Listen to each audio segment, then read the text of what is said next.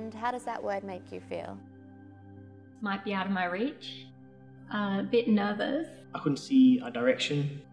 How do you feel about this word? It gives me a sense of hope. That was intimidating.